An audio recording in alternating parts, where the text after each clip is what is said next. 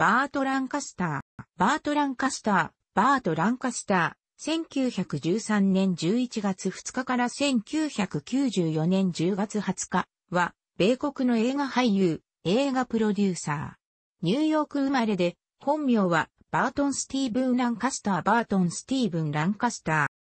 ー。5人兄弟の4、男として生まれる。父は、郵便局員だったが週休はわずか48ドルという貧しい家庭に育ち、自身も働き、雪かきや靴磨き、新聞の売り子をして家計を助けていた。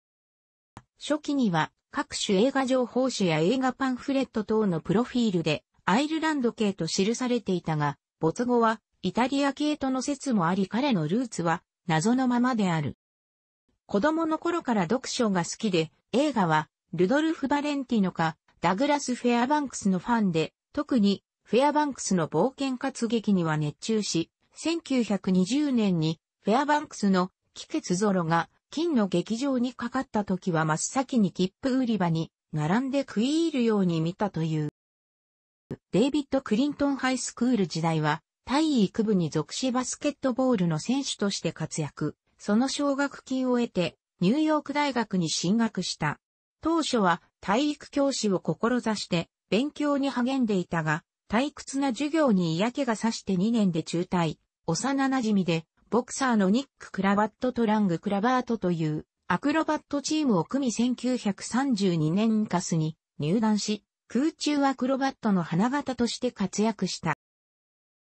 1939年、セントルイスで工業中にランカスターが指を負傷したためチームは解散。その後は、モデル、消防士、ウェーターなどの職を転々としながら暮らしていたが、第二次大戦勃発に伴い1942年にアメリカ陸軍に入隊し、地上軍支援のために編成された部隊の一つである、第21スペシャルセルビセスディビジョンにおいて、軍の慰問団の一員として慰問賞の演出や演をこなした。マーク・クラーク大将指揮下の在イタリア第5軍において1943年から45年まで含むしている。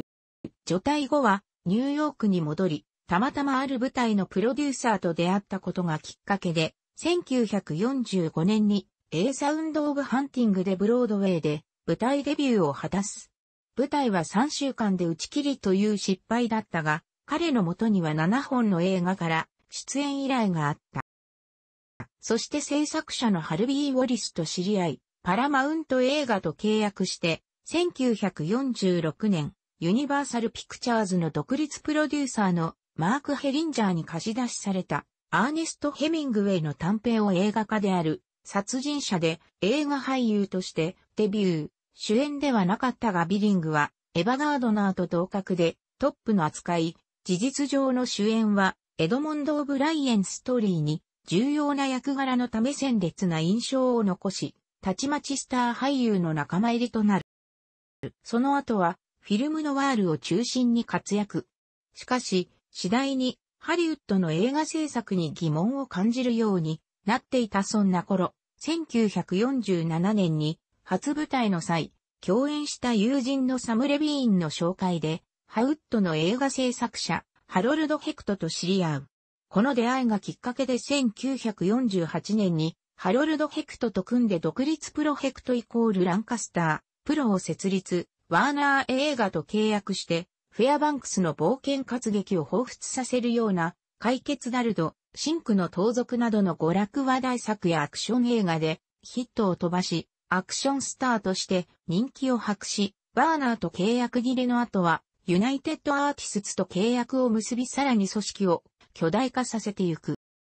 1953年にはベストセラー小説の映画化、地上より永遠にに出演。この作品でアカデミー主演男優賞に初ノミネートされただけでなく、浜辺でのデボラカーとの情熱的なラブシーンは映画史残る名場面となった。またゲイリー・クーパーを招いたアクション西部劇ベラクルス1954年ではニヒルな悪役を演じて主演のクーパーを食ってしまうほどの存在感を示す。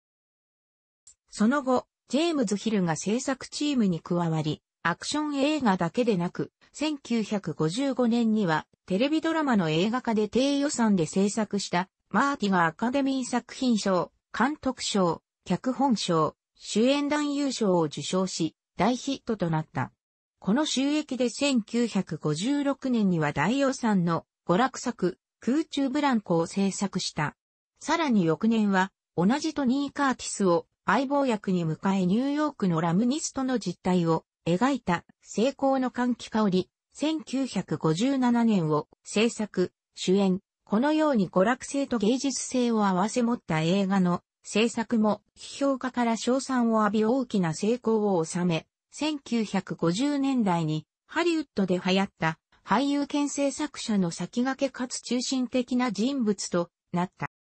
俳優兼制作者として同時期に活躍したカーク・ダグラスは親友でもあり、同時に公的種であり、史実に基づいて制作された1957年の OK 牧場の決闘では、実在したワイアット・アップとドクホリデー役で共演した。以後、活動の絶頂期に入り、俳優としても役柄を広げ、1960年には偽伝道師を演じたエルマー・ガントリー、魅せられた男で、初のアカデミー主演男優賞を受賞するランカスターブルックプロ名義。1962年、ヘクトヒル・ランカスタープロは財政的な理由から倒産するが、ランカスター自身は、これとは別にノーランプロを主宰しており、実質的プロデュースには、大列車作戦、インディアン狩り、大反撃等がある。翌1961年のアスナキ10代で初めて組んだ監督のジョン・フランケンハイマーと意気統合し、実在した終身刑に処された鳥類学者を演じて、オスカーにノミネートされた終身犯、1961年、ダグラスと再び共演した政治サスペンス、5月の7日間、1963年、ナチスから名画の奪還を試みるレジスタンスの活躍を描いたパリ解放20周年記念大作でもある大列車作戦196年、スカイライバーたちの恋と友情を描いた、さすらいの大空、1969年の5本の映画で一緒に仕事をした。また60年代中頃から70年代前半にかけてはヨーロッパ映画で徴用され、芸術的、美術的な名作に多数主演。ルキノビス・コンティは、たっての願いで1963年の山猫や1974年の家族の肖像に、ルイマルは、アトランティックシティ、1980年、ベルナルド・ベルトルッチは、1900年、1976年に、ランカスターを招き、ランカスターも期待に応え重厚な演技を披露した。1968年の泳ぐ人では、友人のプールを泳ぎながら自宅を目指す男を演じ、映画はアメリカンニューシネマの一本として支持を得た。1970年のオールスターキャストのパニック映画、大空港では、旅客機墜落の危機に直面した空港総支配人を演じて、往年のタフガイぶりを披露。映画もその年最大のヒットを記録した。また、反戦主義者であったことから、政治活動にも積極的に参加、ワイルド・アパッチ、1972年、ダラスの暑い日、1973年、合衆国最後の日、1977年など、インディアン問題、人種差別、政治の腐敗などのメッセージ性の高い作品を制作、または自ら出演した。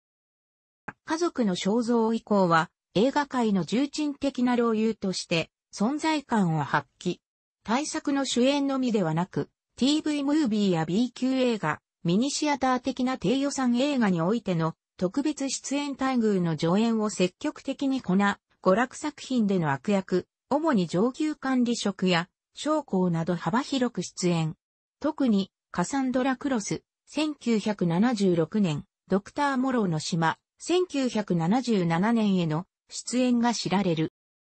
1980年に心臓発作を起こし病気がちになってからは出演作は急激に減ってしまったが、それでも精力的に俳優活動を続け、晩年まで息の長いキャリアを築いた。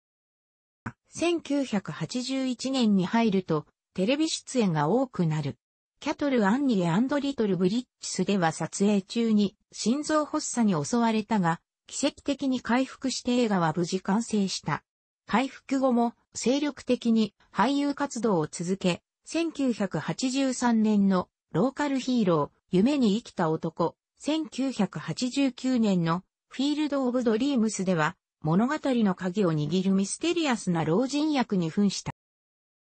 パパラッチタブロイドのプライバシーの侵害や過剰報道を非常に嫌い、家族を守るためにしばしば鉄拳制裁を加える等の過激な面を持っていたが、子供の殺世話になったニューヨーク市にある青、小育成センターには、毎年欠かさず多額の寄付を続けた逸話や、同センター出身者である後輩トニー・カーティスを自社独立プロに招き2年連続共演を果たすという人情家な面もあり、友人の一人であるロックハドソンがエイズによる合併症で他界した1985年末には同性愛者に対し行動する前に考えようというキャッチコピーのポスターを作成して警鐘を鳴らした。1991年にシドニー・ポアチエと共演したテレビ映画、裁かれた壁アメリカ、平等への戦いが遺作となり、1994年に心臓麻痺が原因でこの世を去った。去年80。3度の結婚歴があり、戦線で知り合った2度目の妻のオママリー・アンダーソンとの間に、アンダーソンの連れ子を含め5人の子供の子宝に恵まれる。次男のウィリアムは、脚本家として大ヒット作、頑張れ。ベアーズ、1976年を手掛け、次女のジョアンナは制作者として、ベッドミドラー主演の殺したい女、1987年などを手掛けている。楽しくご覧になりましたら、購読と良いです。クリックしてください。